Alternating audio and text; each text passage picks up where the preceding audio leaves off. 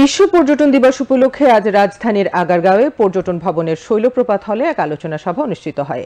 বাংলাদেশ পর্যটন কর্পোরেশনের chairman A K M Aftab Hossain প্রামাণিকের সভাপতিত্বে সভায় অন্যান্যের মধ্যে জনপ্রশাসন মন্ত্রণালয়ের সিনিয়র সচিব ডক্টর মোহাম্মদ মোখলেসুর রহমান, বেসামরিক বিমান পরিবহন ও পর্যটন মন্ত্রণালয়ের সচিব নাসরিন জাহান, বাংলাদেশ বেসামরিক বিমান চলাচল কর্তৃপক্ষের chairman, air vice marshal Mohammad Monjur Kabir Bhuiyan সহ সংশ্লিষ্টরা বক্তব্য রাখেন।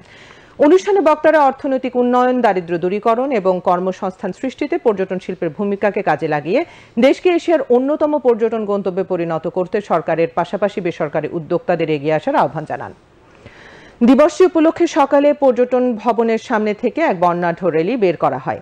বেসামরিক বিমান পরিবহন ও পর্যটন মন্ত্রণালয়ের সচিব নাসরিন জাহান র্যালির উদ্বোধন করেন। প্লেকার্ড, ফেস্টুন রং বেরঙের বেলুন ও ব্যান্ড পার্টি নিয়ে র্যালিতে অংশ নেন বেসামরিক বিমান পরিবহন ও পর্যটন মন্ত্রণালয় সহ বিভিন্ন সংগঠন। র্যালিটি বিভিন্ন সড়ক প্রদক্ষিণ করে।